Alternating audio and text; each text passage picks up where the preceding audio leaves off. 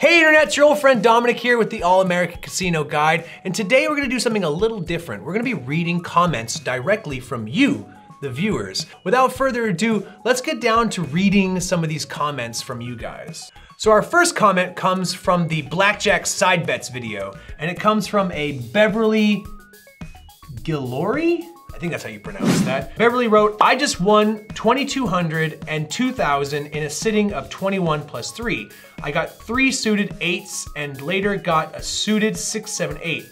What a thrill, three exclamation points. Well worth it, exclamation point. Beverly, I'm so happy to hear that. Like, I honestly, I love hearing people say like they won. And uh, I can't say that had anything to do with me personally, but thank you for sharing. That's fantastic and good for you. I hope that you did something fun with the money though, and not just do something silly like, you know, in, you know, keep it in your bank account or pay off some bills or something. I hope you did something stupid and fun with it. Like, I don't know, buy a jet ski. So my next comment comes from that same video and it's from James Ballsworth and he says, you're a wild looking dude. Thanks.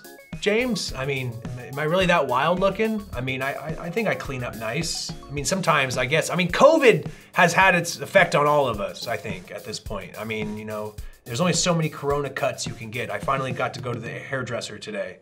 This next comment comes from our video we did on Faro, which is, a, if you don't know, is a really old Wild West card game. Um, and this is, comes from Tom Aller, who wrote, Wyatt Earp was also a Faro dealer. I did not know that, actually.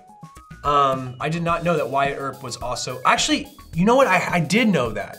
I, I thought I thought I had read something about that at one point. Uh, yeah, he was, he was, a Faro dealer. He had like a bunch of different jobs at one point or another. Him and his brother. Um, before they had the uh, the shootout, the OK Corral. You know, there was like a ton of different jobs they had, like including like they were carpenters and cattle rustlers, all types of jobs. Yeah. So guys, that's it for my comments today. If you really like this video, make sure to clickety-clack that like button. And if you haven't already, pound that big red subscribe button. Make sure to ring-a-ding-ding that notification bell.